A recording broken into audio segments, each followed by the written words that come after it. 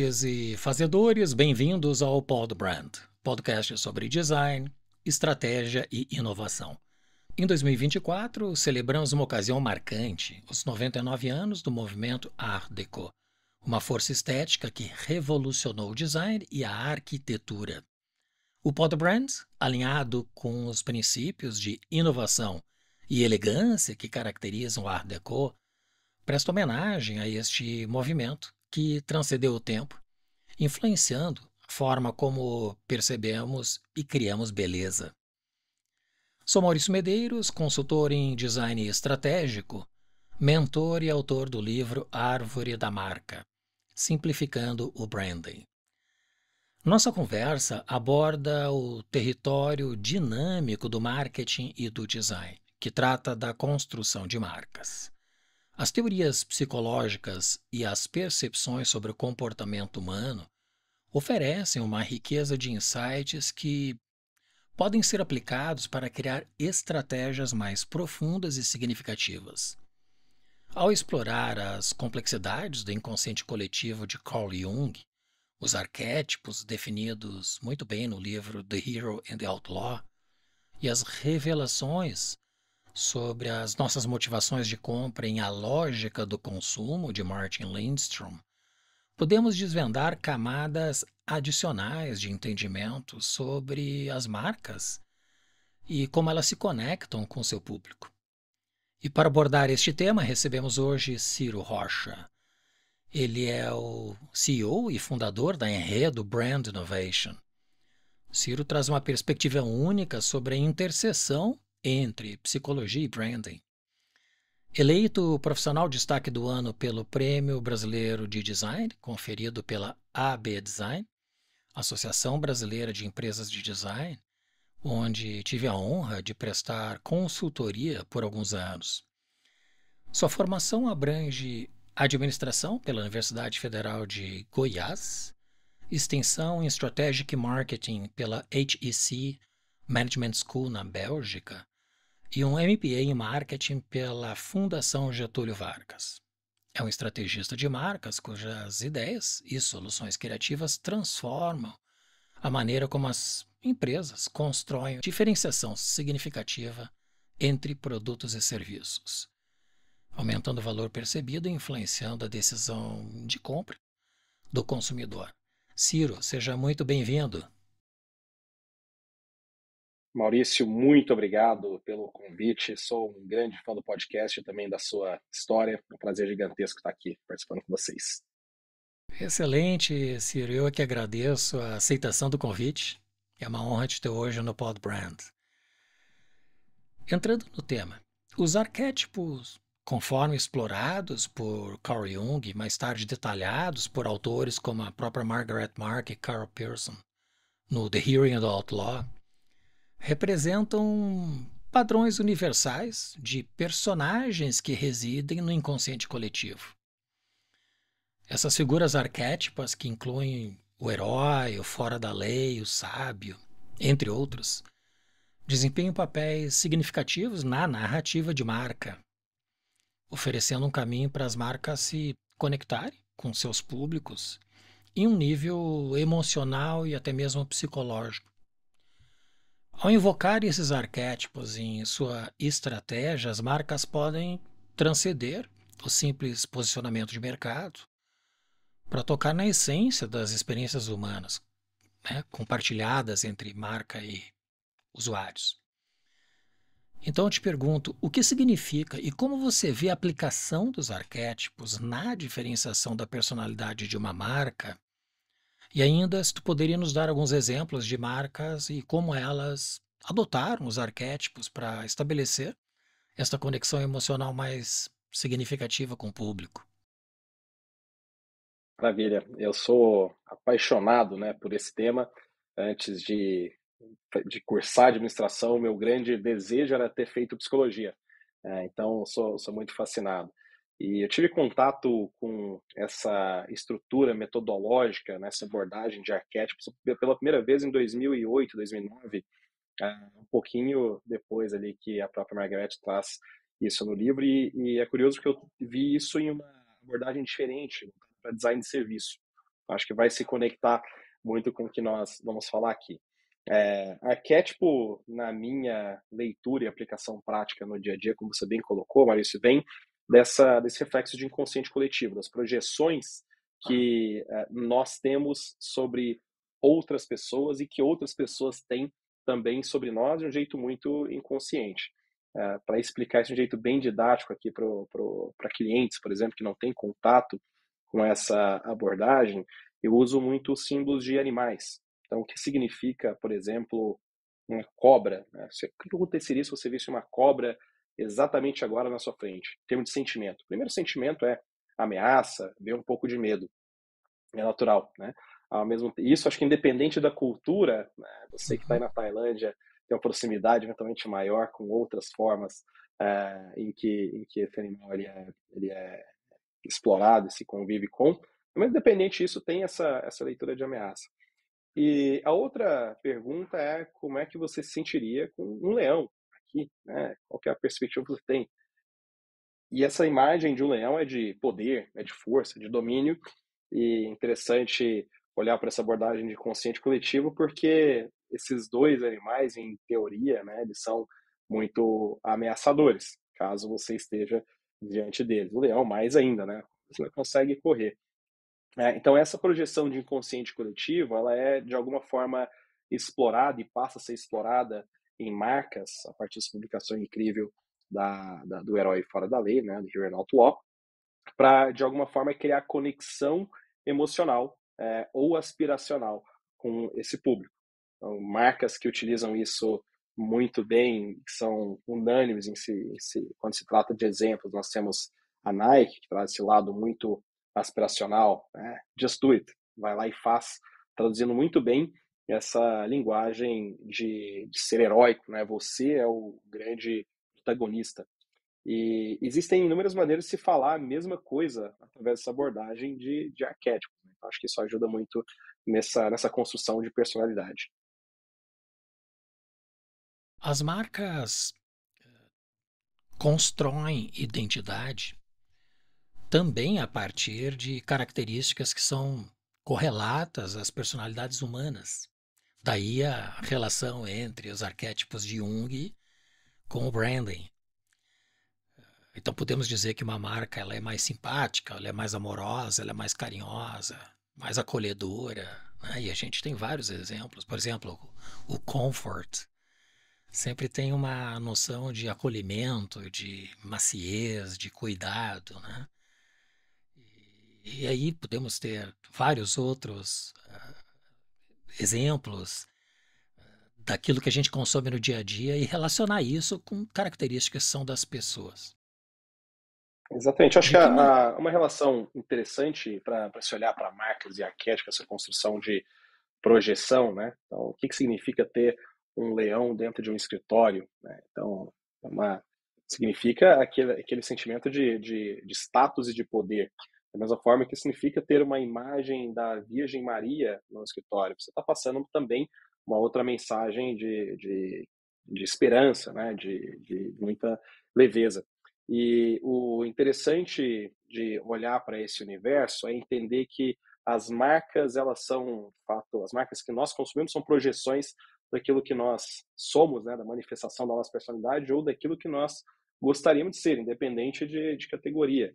Você me falou sobre comfort, nós vamos pensar em homo, né? nós estávamos comentando aqui sobre, sobre filhos, eu tenho duas filhas pequenininhas, e se eu eventualmente usasse um sabão em pó é, em casa, como surf, por exemplo, à medida em que a minha filha nascesse, eu ia mudar completamente, não, isso é homo. Porque o homo traz esse aspecto também de, de cuidado, de carinho, de conforto, mas sob a ótica de liberdade também. Isso já faz bem. Né? A, a escolha de um carro diz muito sobre isso. Você pode ter carros na mesma categoria de preço, né? carros ali nos seus 200 mil, 300 mil, e ele pode ser um Jeep que vai te remeter a uma imagem mais exploradora, remetendo esse arquétipo, pode ter uh, uma Mercedes também nesse mesmo preço, né, para remeter essa imagem também de status, você pode ter, uh, não no Brasil, mas fora, assim, um Tesla que vai trazer essa ideia de inovação, um um Jetta ou algum carro da Volkswagen que vai trazer esse aspecto mais uh, de carro popular sem ser, né? Então isso é muito, muito interessante. É só para deixar mais claro para as pessoas que não conhecem sobre os arquétipos construídos a partir da psicanálise, da própria do estudo da psiquiatria que Carl Jung fez. São 60 arquétipos que distinguem traços, características individuais das pessoas, mas que podem ser mais agrupados, não agrupados, mas concentrados em 12 que são os mais predominantes. Não agrupados porque os 60 são individuais e esses 12 fazem parte dos 60. No entanto, são os que mais prevalecem. Então, a incidência ou a moda, não no sentido da, da construção estética, mas a moda da estatística, né, que é aquilo que mais prevalece, uh, são esses 12. E, e, de fato, o inconsciente coletivo, aquilo que Jung trouxe talvez como maior inovação do seu pensamento, do comportamento e da mente, é aquilo que nós nos agimos e nos comportamos de maneira que não é consciente a nossa percepção. E sim, simplesmente agimos daquela forma. Porque acreditamos, porque fomos ao longo do tempo condicionados aquela situação, aquela característica. Isso não significa uma situação ruim. Podemos falar de situações muito boas. Né? Então, só para dar uma contextualização um pouco mais clara para as pessoas que nunca tiveram contato com esse tema. Né? Na sua visão, qual é o desafio em equilibrar o uso dos arquétipos na estratégia de marca sem cair em estereótipos ou simplificações excessivas? Esse é um tema fundamental, principalmente quando marcas trabalham eventualmente com fornecedores diferentes e quando temas que estão na moda, não usando moda estatística, mas né, numa, numa tendência estão sendo levantados, acabam sendo muitas vezes incluídos dentro de narrativas sem que necessariamente uma marca tenha essa elasticidade para absorvê-las, né? É, eu diria que uma, uma marca ela nasce sempre de uma causa que vai se manifestar de maneiras diferentes, desde o seu traço de personalidade, na sua comunicação, e o arquétipo vai, como você bem disse, direcionar como é que eu reajo a determinadas questões, tanto de mundo, determinadas provocações. E é muito comum que se confunda essa representação de inconsciente coletivo com o estereótipo, né? É, eu acho que o grande risco quando você eventualmente traz essa confusão passa por primeiro não ser verdadeiro. A principal estratégia de uma marca é de fato a, a verdade. Então é, é fundamental que todo mundo esteja muito ligado no que acontece né, em termos de mundo, capacidade de resposta, acho que é um ativo importantíssimo para toda e qualquer empresa hoje, mas não é porque isso virou um tema que eventualmente você precise é, tratar sobre. Uma marca que é, nunca falou de diversidade, por exemplo, e, é, e sempre teve um aspecto mais inocente, ela não consegue, não poderia levantar uma bandeira de diversidade do ponto de vista mais é, veemente e agressivo. É, uma marca que nunca teve como bandeira uma causa ou luta SG, por exemplo, ela não pode do dia para a noite se tornar o, o Greenpeace, né, e ir para as ruas, olha, nós precisamos uh, preservar de um jeito que eventualmente tenha seja incoerente com, com a sua forma de agir. Eu acho que o grande, o grande risco e a dificuldade de equilíbrio entre essa perspectiva de arquétipo, estereótipo, passa muito pela forma como a marca vai participar de conversas que são fundamentais e relevantes, né? temas que são que estão aí no nosso dia a dia. O conceito do inconsciente coletivo, que eu mencionei antes e introduzido pelo Jung, ele sugere a existência de uma parte da mente que ela é compartilhada, como a herança dos nossos antepassados, que contém arquétipos e memórias que pode-se dizer universais. E essas teorias abrem portas para a compreensão mais profunda de como as próprias marcas podem ressoar em um nível subconsciente com o seu público, tocando em temas como desejo e medos né, universais que se conectam com, com as pessoas. Ao alavancar esse poder inconsciente coletivo, as marcas têm oportunidade de criar mensagens que não apenas atraem a atenção, mas também se ancoram profundamente nas experiências compartilhadas. Então, de que maneira você acha que o entendimento do inconsciente coletivo para as empresas, para as marcas, pode ser usado para aprimorar a estratégia da marca, garantindo que a sua mensagem ressoe em um nível mais profundo com o público desejado? Que, que, que baita, baita pergunta, Maurício. Existe nesse conceito a lógica do self, né, da, da personalidade e da sombra, que exatamente são, são esses medos. E é fundamental para uma marca que queira ter uma mensagem verdadeira e que ressoe na alma das pessoas, é, essa compreensão. E, e, entender que muitas vezes você expor uma vulnerabilidade e um medo é também uma estratégia fundamental, porque isso vai tocar. Todos nós temos temos medos, né? É um grande desafio do, do acho que da vida moderna você conseguir é, equilibrar e mergulhar numa autoconsciência para entender como como interagi-los. Uh, existem partindo do princípio de que o arquétipo nos ajuda a pertencer a determinados grupos ou nos projetar a determinados grupos, você consegue ver bons exemplos de marcas trazendo esse equilíbrio com mensagem e projeção, por exemplo, de poder ou de status. Nós já comentamos sobre Mercedes, mas é, é incrível o que uma caneta Montblanc conseguiu fazer em termos de, de mensagem também. Né? Então, muitas vezes, ah, sentindo, tendo a consciência de que ah, uma pessoa que não pertence a um ambiente de status demais, de pessoas que são super representativas, eventualmente vou participar de uma reunião com empresários muito grandes ou público de governo. O fato de você ter receio de ser rejeitado nesse ambiente, uh, ele muitas vezes encontra um conforto em colocar uma caneta Montblanc aqui no seu bolso e passar uma mensagem de que estamos na mesma posição. É, então esse é o maior medo, medo de não ser aceito, medo de não pertencer. Da mesma forma, quando se pensa em grupos mais rebeldes. Eu estou indo é, hoje, na verdade, para o South by Southwest, que é um evento de inovação que acontece em Austin todo ano.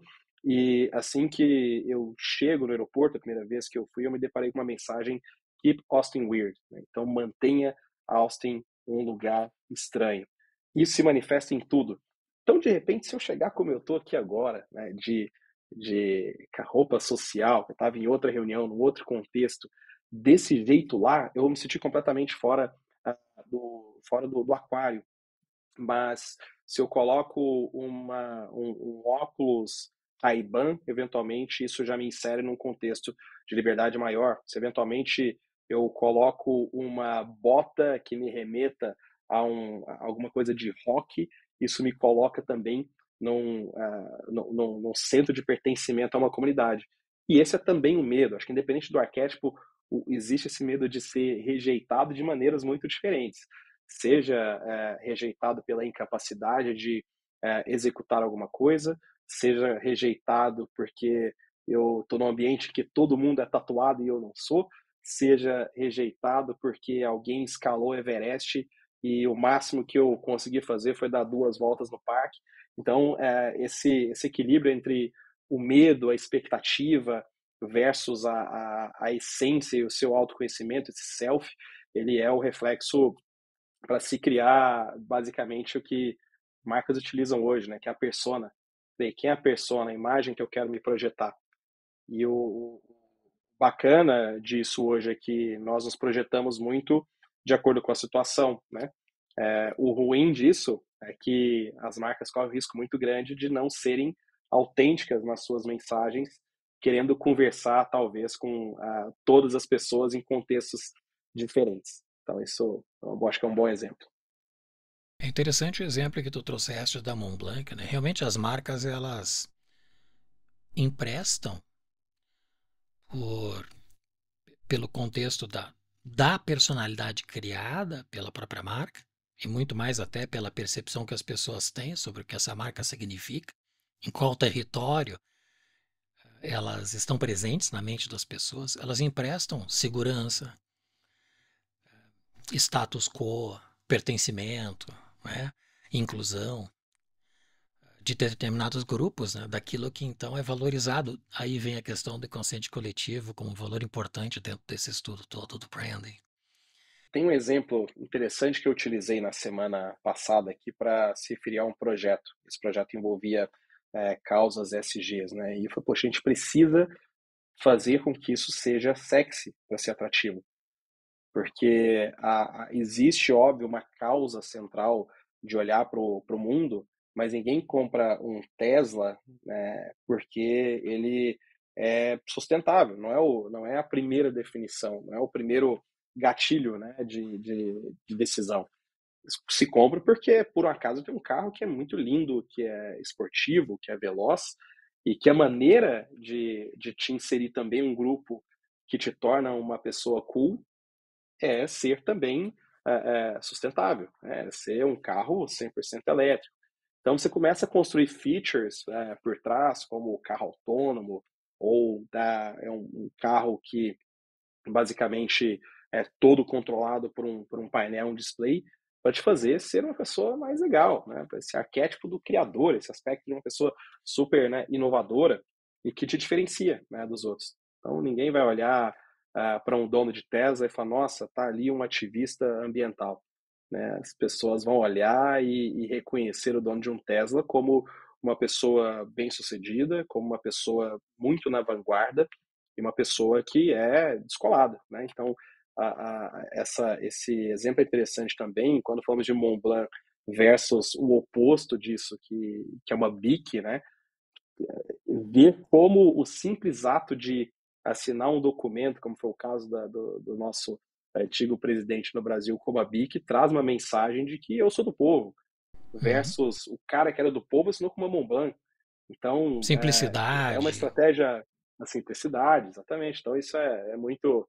É, é, é, um tema, é um tema que nós poderíamos discutir para sempre aqui, né? Como ele se manifesta no nosso dia a dia, horas e horas, e que, e que nós nunca uh, nunca ou, quase nunca nos damos conta de como nós somos manipulados uh, de várias maneiras diferentes sem perceber. É muito estimulante esse tema. Realmente ele é profundo, né? Ah, porque ele realmente interfere em como as pessoas percebem as marcas. E, claro, é uma estratégia das marcas de construírem um determinado posicionamento, se bem que a identidade de marca não é a marca que faz, são as pessoas que percebem né, nas suas mentes. O que as marcas podem fazer é construir um caminho para que esta identificação seja positiva, autêntica com seus valores e tudo mais. Como as marcas podem navegar pela complexidade do inconsciente coletivo sem invadir ou manipular indevidamente as emoções mais profundas das pessoas? E ainda quais técnicas ou abordagens você recomendaria para que as marcas que deseja explorar os conceitos que a gente vem conversando agora na sua comunicação. Isso tudo com base naquilo que tu mencionaste, né? A questão do manipular, mas pode ser num sentido positivo, né? De influenciar. Perfeito também. Acho que passa pela, pela relação da comunicação e querer participar de determinadas conversas é, sem que eu entendo ser fundamental e o grande desafio de toda marca hoje em dia, que é a autenticidade. Ah, usar essa, essa abordagem, esse conceito de inconsciente coletivo, basicamente significa entender muito bem quem é o meu público, o que ele espera de mim, o que outras empresas ou marcas não estão fazendo e que eu poderia, de alguma forma, explorar. E o grande ponto ético que eu entendo disso tudo é esse explorar para vender, pura e simplesmente, versus o explorar como uma abordagem estratégica para se criar, de fato, conexão. Né? Então, continuo uh, batendo na tecla de quanto mais verdadeiro se é nas suas convicções, mais proximidade você vai é, ter com esse público e mais engajamento você vai conseguir ter também, porque você vai multiplicar essa uh, essa causa com pessoas que também ressoam uma causa uh, da sua da sua marca que a sua empresa também defende. Eu entendo que falar sobre sobre sobre inconsciente coletivo com as pessoas e explorar isso também envolve em termos de técnica uh, storytelling, né? De que formas diferentes eu posso contar a mesma história. Isso varia demais. Né? Então, de novo, olhando esse exemplo de carro, carro, qualquer carro, ele vai te levar do ponto A para o ponto B. Né? E isso sempre vai ser o objetivo funcional. Agora, eu posso levar do ponto A para o ponto B com conforto, com estilo, uh, e aí eu posso vender estilo para eventualmente falar sobre um carro retrô, como seria você dirigir uh, um carro da década de 50 e lançar, por exemplo, uma Kombi, né? Foi como como foi feito para remeter essa história. Uh, eu posso falar sobre ir despreocupado, aproveitando o seu tempo para um carro que vai dirigir para você. Então, acho que essa compreensão de como você conta a história a partir de uma crença e dessa autenticidade é uma grande estratégia, além de, usando esse exemplo de Tesla que nós citamos anteriormente, criar um senso de comunidade muito claro que te ajude a contar essas histórias. Como você bem colocou, né, Maurício?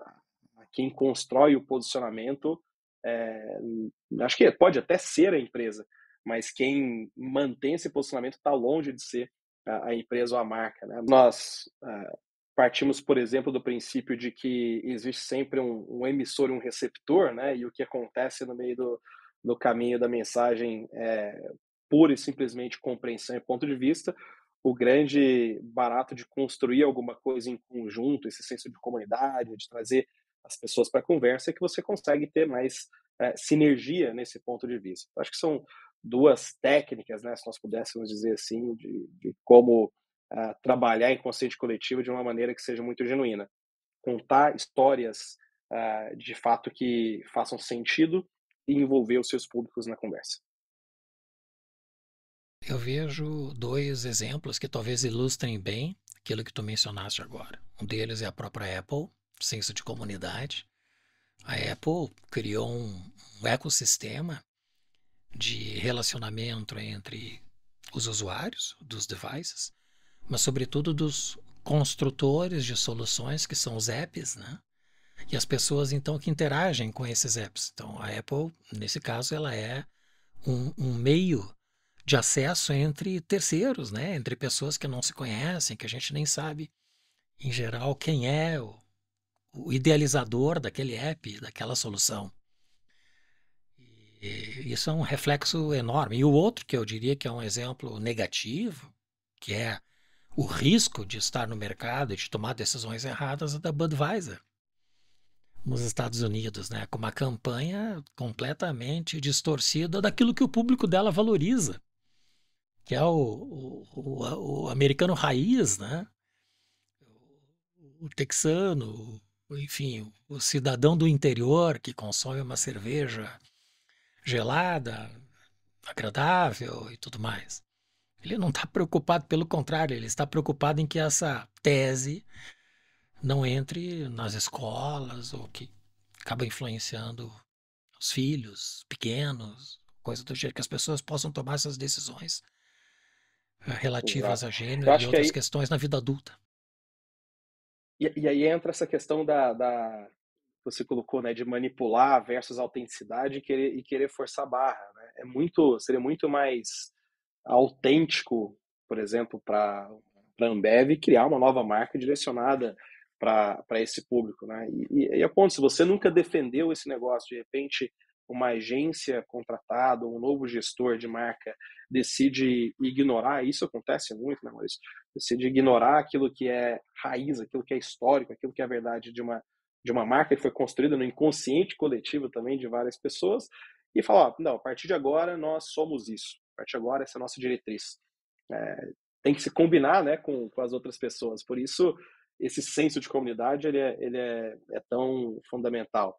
No Brasil tivemos um caso também com, com o Volkswagen e o Polo, é, também uh, uma marca que nunca, nunca, imagina uma marca né, alemã, muito tradicional, uh, Volkswagen, que nunca tinha levantado esses pontos, de repente ela traz isso para um carro que também não dialogava com, com nenhum, nenhum tema de diversidade. Então, é, de novo, são, são naturalmente pautas fundamentais e que, que bom que as marcas estão se envolvendo nisso, as empresas estão trazendo isso para o seu dia a dia, mas se isso não for autêntico, se não for genuíno, o risco ele é muito grande, como você colocou em Budweiser. Eu acho que esse exemplo ele pode ilustrar muito bem a importância das empresas contratarem uma empresa de design, de branding, para ajudar no processo de construção e consolidação de posicionamento e de uma marca com valor. Muitas vezes as ações de marketing são muito intempestivas, são vislumbram visibilidade. Isso não necessariamente está relacionado à raiz da marca, à essência da marca. Casualmente eu menciono sobre esta lógica no meu livro Árvore da Marca, que eu justamente faço analogia entre a constituição de uma árvore e suas partes e a construção da marca e suas dimensões. Então toda todo o processo analógico que facilita o entendimento. Então as pessoas não precisam entender de branding. Elas precisam fazer analogia entre o que é a raiz, o tronco, enfim, os galhos, as folhas, as flores, os frutos, enfim, tudo que está relacionado a isso.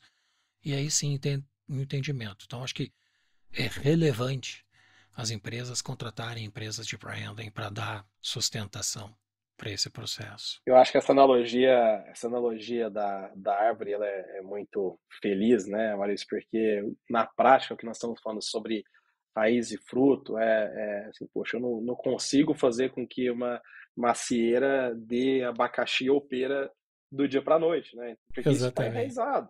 É, então, é, essa raiz, esses valores, eles acabam trazendo isso. Assim, se no inconsciente coletivo eu entendo que um pé de laranja vai dar laranja, é, não, eu não vou simplesmente falar assim, poxa, vou fazer um enxerto aqui, de repente esse pé de laranja vai começar a me dar limão. Né? Não, não é assim que, que funciona. Então, você comentando sobre essa abordagem da, da árvore, eu acho que ela é, é fundamental.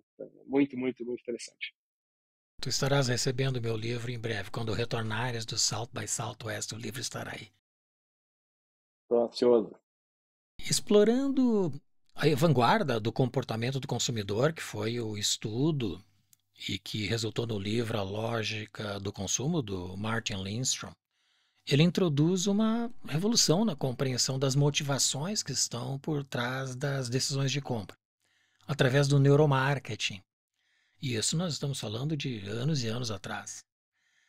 Esta técnica que foi inovadora naquele momento, que combina neurociência e marketing, permite uma análise, na época, sem precedentes do entendimento do cérebro dos consumidores, revelando gatilhos subconscientes que influenciam o comportamento de compra. E esses estudos, possivelmente a maior inovação no campo desde as teorias dos arquétipos do Jung. Elas desvendam uma dimensão na maneira como as marcas podem se conectar com o público. Então eu te pergunto, como os insights da obra Lógica do Consumo e da tese do Martin Lindstrom podem ser aplicados para desvendar os verdadeiros motivadores que estão por trás das decisões de compra e como isso influencia a construção de uma estratégia de marca eficaz? Maravilha. Eu, é, é, muito interessante você falar sobre como isso de fato transformou né, o, o mercado. Eu conheci o Martin Lindstrom por um, por um acaso em 2009, 9 ou 10, é, ou talvez 8 antes disso, não me lembro, em um evento que foi realizado em São Paulo chamado HSM Expo Management. E por um acaso esse cara que eu não conhecia, ele estava lá dando uma palestra uh, ao lado de outra pessoa fantástica que eu também não conhecia, que é o Dan Ariely. Ambos falam sobre uh, uh, comportamento. E quando eu assisti exatamente isso que foi o lançamento desse, desse livro na época, eu fiquei completamente fascinado. Né? Porque a lógica do consumo uh, o, o, subtítulo é uh, Mentiras e Verdades do Porquê Nós Compramos Algumas Coisas, alguma coisa parecida a isso. E ele foi apresentando essa palestra como de fato nós somos manipulados, tanto para o bem quanto para o mal, para tomar determinadas decisões. E, e uh, eu posso incorrer no, risco aqui de não citar exatamente a lógica do consumo, porque eu li absolutamente todos os livros do Martin Lindstrom e sou fascinado né, por tudo que ele, que ele fala, é, envolve muito o aspecto de sensações.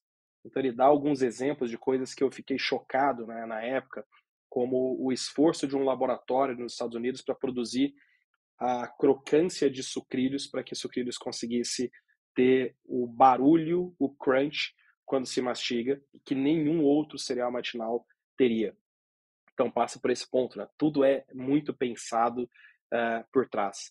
E um outro exemplo interessante fala sobre as suas sensações, né? Também como explorar isso. Uh, quando se entra em um McDonald's no mundo inteiro e você tem o mesmo cheiro. E Maurício, contando a minha experiência na, na Tailândia, é, nós ficamos quase um mês na Tailândia. Chegou um determinado momento que minha esposa falou: Nossa, vamos comer outra coisa, porque tudo aqui tem curry pedimos uma pizza e a pizza era temperada com curry. No dia seguinte, eu falei, pelo amor de Deus, vamos comer alguma coisa sem curry. E eu entro no McDonald's. Eu entro no McDonald's e tem exatamente o mesmo cheiro familiar, que é o cheiro é, do que eu vejo, por exemplo, em Goiânia, né, ou São Paulo, ou qualquer outro lugar do planeta que eu já tenha entrado em um McDonald's. Isso traz não só a sensação de familiaridade, mas aquela certeza de que, poxa, isso aqui é, é, eu, tô, eu tô em casa, né? É um alívio. Então, Martin Niemsen fala muito sobre isso. Ele desdobra isso em essa teoria em vários elementos diferentes, né? Desde a, a, de cores e como a cor influencia a distinção de uma marca né? dentro dentro de um, de um universo onde tudo se parece muito igual. Exemplo, como o Nubank conseguiu ser tão distintivo no mercado extremamente concorrido e dominado por grandes players, é, reforçando uma cor roxa em um universo de azul, amarelo e vermelho que teoricamente passam credibilidade. Então ele desconstrói essa visão de que o vermelho com o amarelo não dá fome, dá fome porque você viu McDonald's fazendo isso há muito tempo né, na sua vida. Então, é, é, absolutamente tudo é muito muito manipulado né, na, nossa, na nossa visão e, e o fascínio desse livro para mim vem disso, de como eu posso pensar em cada ponto de contato para que cada ponto de contato ele reforce uma mensagem em específico, por exemplo, o cheiro do McDonald's com é, é, é com essa familiaridade, a, a, fotografia de um Big Mac para mostrar que de fato é grande, ou o molho especial né, do Big Mac para trazer esse aspecto de segredo por trás, isso se valoriza muito, ou o fato de brigar com o Burger King para criar inimigos, né? Isso também valorizar minha marca, uma estratégia que é muito utilizada é, é, é, pelo próprio Nubank, né? Eu sou inimigo dos bancões ou da, da Pepsi com a Coca, então esse livro é realmente fascinante e eu diria que ter assistido esses dois transformou muito a minha vida e me deu a convicção de que eu queria fazer exatamente isso é, desde sempre né, na, na, minha vida. E o meu aspecto de querer estudar psicologia lá atrás, enquanto graduação, veio exatamente para olhar para esse, esse universo de comportamento de consumo e que eu não sabia que existia isso como profissão. Né? Então, para mim, foi uma surpresa gigante ali quando eu tinha meus 20 anos. É, os estudos dentro deste campo evoluíram muito, né? Existe uma profundidade de teorias e estudos e análises por eye tracking, né, que são observação do movimento dos olhos, inclusive em vitrines de lojas e, e devices e aplicações que se utilizam para poder identificar um comportamento padrão ou a, o reflexo né, da, das pessoas em relação a uma determinada situação, para daí poder ajustar. Isso no varejo está muito evoluído, sobretudo varejo de alimentos, como supermercados, que foram talvez os precursores desses estudos de comportamento de consumo mais científicos, vamos dizer assim, na prática. Isso já há bastante tempo. Bastante tempo. Ele, ele citava nesse primeiro estudo que ele estava começando a, a testar a reação do cérebro com propagandas e fotos. Né? Então, como o cérebro reage vendo determinadas fotos, e isso ainda com, com, com sensores, né? Imagina pessoa sentada assistindo eletrodos. E, e, eu acho que essa era a beleza uh, de se falar sobre marca lá atrás, né? De despertar sentimento. E isso tem tudo a ver com o nosso tema aqui de inconsciente coletivo e de arquétipo, porque eu entro no, no, no, no de fato no, nas vísceras ali de, sentimento, de projeção e de medo, e que eu sinto que isso se perdeu, né? É, porque hoje é sempre o copy que vende, é sempre a mesma fórmula para se fazer alguma coisa, e de fato vende, mas não se constrói engajamento dessa, dessa forma. Então, a, nós temos aqui na Enredo uma divisão de, de arquitetura, que é voltada para arquitetura corporativa e design de varejo, onde se baseia absolutamente tudo nesse aspecto de cheiro de marcas, de é, para onde nós, por onde nós queremos que um cliente passe dentro de uma jornada e que ele nem sabe que ele está que ele está é, seguindo e que ele está frequentando. Você vai começar aqui. O varejo sempre teve muito isso, como você colocou, supermercado, aquele aquele M&M's que tem no final ali quando está na boca do caixa, aquela compra por impulso, tudo isso é, é pensado e é um fascínio. Sim. Essa, essa importância do design de ambiente, né, do, do varejo, sobretudo, que tem uma interação direta, um ponto de contato muito íntimo com as pessoas, ele tem uma relevância muito grande. Vou dar um exemplo. Eu, numa certa oportunidade, nós contratamos um arquiteto, um, uma empresa de arquitetura muito famosa que é responsável por toda a criação das lojas da Prada e da Mil Mil desde o início, em que a Prada entrou nessa nessa nova gestão da Miuccia Prada, que é o, o estúdio Bacchiocchi, que fica em Arezzo, na Itália. Então, quando a gente foi lá para fazer a reunião, para brifar o nosso projeto de loja, me chamou a atenção um detalhe que para eles tem muita relevância. Existe um andar que somente tem acesso alguns arquitetos e a equipe da Prada. Porque lá estão sendo não só criadas as novas lojas, mas existem as maquetes, os protótipos reais em tamanho real das lojas, que vão ser lançadas daqui dois, três anos. Talvez esse tempo esteja cada vez mais curto, porque hoje em dia a gente procura soluções mais rápidas né, e não tão a longo prazo. Mas, enfim, o acesso era proibido a qualquer pessoa que não fazia parte daquele contexto, dado a importância da construção. Isso é, é, é, é impressionante, né? Porque quando nós, nós vemos alguma coisa sendo lançada, nós não fazemos ideia do, do do, do, do, volume de hipóteses que foram levantados lá atrás, do, do nível de estudo, da, das, das coisas que poderiam ter sido evitadas, mas não foram, porque simplesmente o, o contexto era outro. Né? Então, essa velocidade ela, ela impressiona muito. De repente, um tema entra em, é, é em acho que ganha uma densidade muito muito grande, uma relevância muito grande do dia para a noite, da mesma forma que ele deixa de ser daqui é, dois, três meses. Eventualmente, quando uma marca é lançada, uma loja é lançada, ela está pensando muito, óbvio, olhando para a tendência, né? mas é, é, sempre, é sempre um risco. Acho que é uma dificuldade para todo mundo que está envolvido em, em todo tipo de projeto de gestão de marcas e de empresas. É, é muito forte. O visual merchandising do varejo é determinante. Bem, nós iniciamos agora o Pinga Fogo são três perguntas que eu faço a todos os convidados. Quais são as virtudes do empreendedor de sucesso?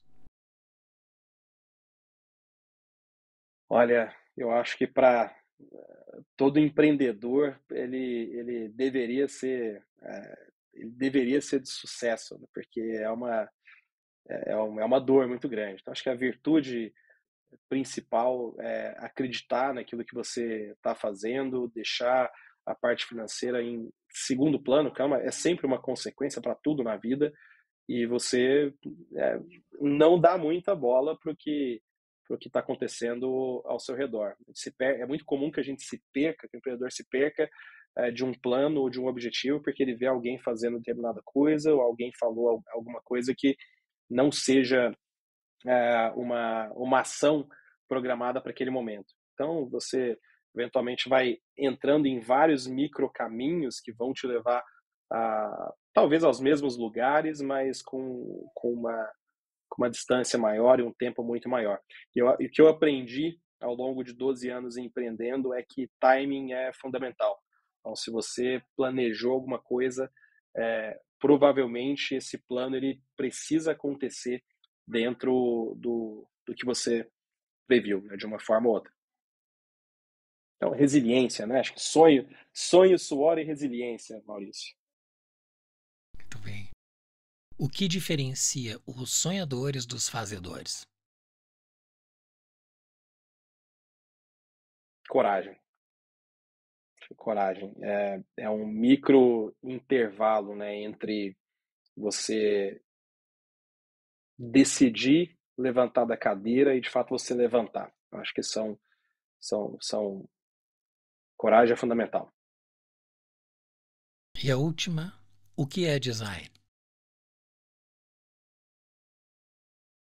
Eu não vou trazer nenhuma definição acadêmica, mas eu, é, para mim, eu não sou um designer por formação, né? E para mim o design sempre teve uma função fundamental de equilibrar expectativa e funcionalidade. Então, basicamente, qual é a expectativa que eu tenho sobre alguma coisa ou sobre uma loja, sobre um produto e como isso de fato é entregue e se reflete no meu sentimento.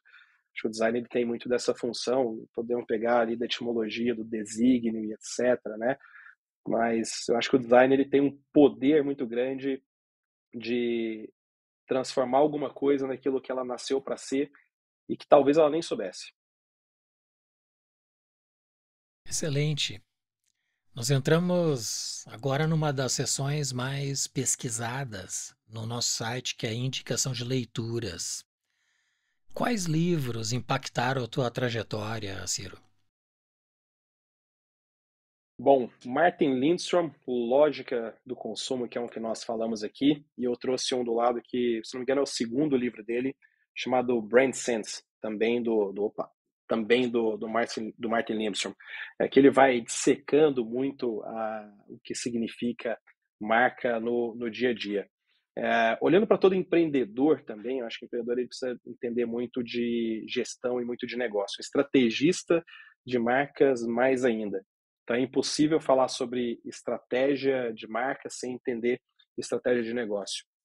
E aí eu recomendo uh, um livro que é um clássico, né, chamado High Output Management, que é do, do Andy Grove, um, um dos, é o CEO da Intel que resolveu mudar todo, todo o negócio, e aqui ele traz muito framework de gestão, uh, no Brasil é o gestão de, de alta performance.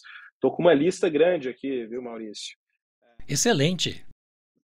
Previsivelmente irracional, então foi e esse, esse livro não era um livro, né? Antigamente, ele era um, foi um artigo que acabou se tornando um livro do Dan Ariely e é uma pessoa que, na prática, ele viveu o que é tomar decisão versus alguém tomar decisão por, por ele. Né? Então, um cara que resolve se dedicar ao estudo é, de comportamento e depois economia comportamental quando ainda adolescente, ele tem o corpo praticamente todo queimado e passa anos numa maca no hospital e que todo dia a enfermeira tirar, precisava trocar né, as ataduras. E, e, e, aí ele não conseguia falar, né, com o corpo todo queimado. A enfermeira sempre falava para ele: Olha, eu vou tirar aqui rapidinho, que é para você sentir menos dor. E na cabeça dele ele falou assim: Caramba, mas tirar rápido é, dói muito e ele começa a se dedicar ao estudo entre as pessoas preferem uma dor intensa durante um período curto de tempo ou uma dor mais moderada durante um período maior. Então, é um livro que é, fala muito sobre como o nosso inconsciente acaba tomando decisões e tentando justificar essas decisões com racionalidade. É um livro muito, muito interessante. Uh, um outro livro fundamental para todo mundo que busca entender comportamento é Misbehaving, Richard Taylor, também muito interessante. Uh, Poder dos Momentos é um livro legal demais do, do, do Chip, do, do Dan Heath também, que eu acho Hat, né, se não me engano. E aí tem um, tem um outro livro que eu indico para todo mundo que empreende. É, eu, eu, é um livro que eu presenteio para vários amigos, um livro chamado O Lado Difícil das Situações Difíceis, do Ben Horowitz. Ele é um dos grandes nomes do, do Vale do Silício e ele conta a dificuldade e a solidão que eventualmente uh, os empreendedores têm e passam para se tomar decisões.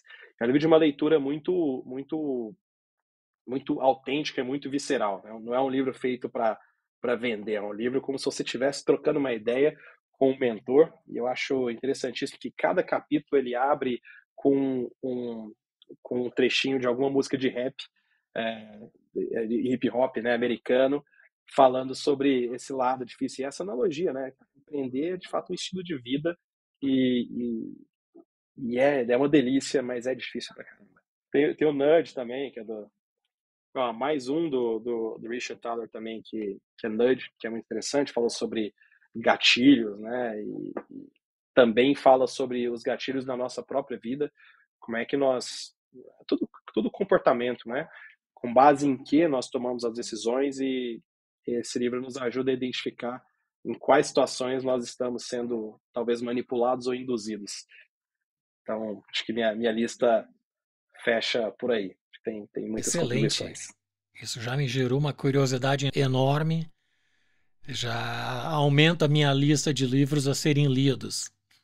Ponto falando sobre, sobre leitura em específico, já que essa é uma, uma sessão, né? Eu sou, nossa, eu leio muito é, desde que de que eu tive posse de um Kindle, por exemplo, acho que multiplicou demais a, a minha leitura sobre temas muito diferentes. E eu acho que pensar uh, em, em, marca, eu acho que pensar em construção de estratégia passa menos pelos frameworks teóricos que sim precisam é, existir para validar né, cada, cada decisão, mas é uma dinâmica de se entender sobre absolutamente tudo, né, e não em níveis de, de, de, de uh, aprofundamento como especialista, mas essa dinâmica de comportamento, de negócio, de estratégia, de decisão, acho que é fundamental para se trabalhar com, com coisas que mudam o tempo inteiro. Mas o comportamento, eventualmente, ele permanece, é, permanece com as suas mesmas motivações há muitas décadas, né? E só tem encontra maneiras diferentes de, de manifestar isso. É, eu também valorizo essa transdisciplinaridade de conhecimentos, né? O próprio design como disciplina que a gente trabalha é transversal. Então isso já por si só nos coloca já numa, numa posição de buscar o conhecimento de áreas complementares, distintas, né? Ou que trazem inspiração, ou que trazem reflexão, como este livro que tu comentaste agora há pouco. Um recado para quem nos assiste: para facilitar o acesso de todos, nós disponibilizamos os links destes livros diretamente aí na descrição. Além disso, eu convido vocês a explorarem a nossa seção livro no site podbrand.design. Lá nós reunimos uma curadoria com mais de 300 livros recomendados por nossos convidados. Não deixem de conferir e o link também se encontra na descrição. Bem, indo para o final, eu trago a pergunta do Roberto Palmeira, que é o idealizador e diretor de sonhos do Instituto Rope. É um projeto voluntário e que se dedica a realizar sonhos de pessoas acometidas do iminente risco de vida, sobretudo por doenças como câncer, e que esteve na semana passada no Pod Brand. Ele formulou essa questão sem ter ideia de que seria você o nosso próximo convidado. A pergunta dele: Qual é o seu sonho?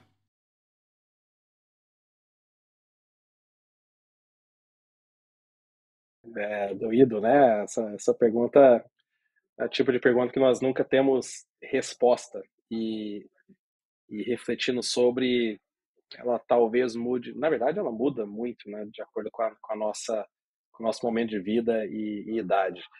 É, acho que meu sonho ele de alguma forma é muito ambicioso e muito simples, Maurício. Eu diria que é continuar vivendo com energia com saúde para que eu consiga também né, explorar o máximo de uma autenticidade e da vida que eu estou vivendo. É, acho que essa talvez seja a maior ambição humana, assim, você aproveitar a vida com, com as suas belezas, entendendo que ela tem os seus desafios e não cair na tentação de deixar de ser você mesmo, porque o mundo te cobra em 100% das situações que não seja assim. Então, acho que é minha, minha grande minha grande ambição e sonho seria isso: ter saúde, energia, continuar fazendo aquilo que eu acredito, ajudando diretamente né, e indiretamente milhares de pessoas. E se você pudesse fazer uma única pergunta ao nosso próximo convidado, qual seria? Passa talvez pela minha resposta. É... Eu tô no... estou com 37 anos, né? 37 anos, acho que é uma com duas filhas pequenas, então minha vida e minha visão de mundo tem mudado bastante. Talvez lá atrás, se tivessem me perguntado qual é o seu sonho, o sonho passaria por ter inúmeras realizações e ganhar muito dinheiro. É... E quem sabe, eu já quis ser, por exemplo, Dave Grohl, adoro música, sou um fãzaço do, do, do Foo Fighters.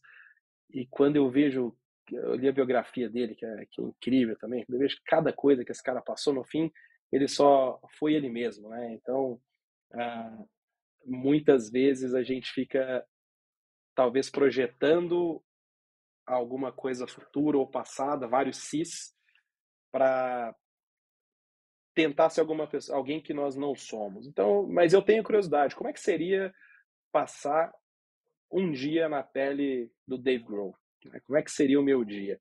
Então a minha pergunta, ela passa por isso. Se você pudesse escolher qualquer pessoa no mundo para viver um dia da vida dela, qual pessoa seria essa? Legal essa pergunta. É surpreendente. É uma pergunta inusitada ao longo destes 70 episódios que nós estamos completando hoje. Curioso. Eu também estou curioso. Muito bem, Ciro, foi um privilégio abordar todo esse tema do branding, da psicologia de consumo contigo hoje. As tuas perspectivas e a própria experiência enriqueceram muito a nossa compreensão sobre a interação entre as marcas e as mentes. Te agradeço profundamente por compartilhar teu conhecimento conosco e por se engajar com o propósito do Pod Brand, que é ajudar as pessoas alcançarem sua melhor versão. Obrigado. Estou muito, muito honrado, muito feliz com a, com a conversa, conversa boa demais e, e, de fato, compartilhando muito o propósito né, de ajudar cada vez mais pessoas. É, eu estou muito realizado por estar com você. Obrigado. Obrigado por todo mundo que nos assiste e acompanha. Excelente. Até a próxima oportunidade. Um grande abraço, Ciro. Tchau, até a próxima. Sonhadores e fazedores, espero que este episódio com o Ciro Rocha tenha inspirado cada um de vocês a olhar para as marcas e para o design de uma maneira mais profunda e conectada. Convido todos a visitar o nosso site podbrand.design para explorar este e outros conteúdos dos episódios dos nossos convidados anteriores todas as pessoas e marcas e o design se conectam de alguma maneira. Então, não se esqueçam de se inscrever em nosso canal e compartilhar este episódio. Sua participação é essencial para que mais histórias como as de hoje possam alcançar e inspirar ainda mais pessoas. Nos encontramos no próximo episódio, onde a arte encontra a estratégia para criar o extraordinário. Aqui no Pod Brand, o podcast do design.